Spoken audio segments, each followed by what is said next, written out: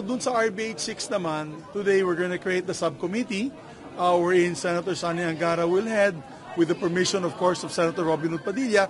Tapos by next week, mag-umpisa na po siya sa mga hearings uh, doon sa RBH 6. So, uh, everything is taking its course. Uh, gusto po natin na medyo babain ang temperatura ng uh, politika sa ating bansa. Kaya kami, back to work kami dito sa Senado.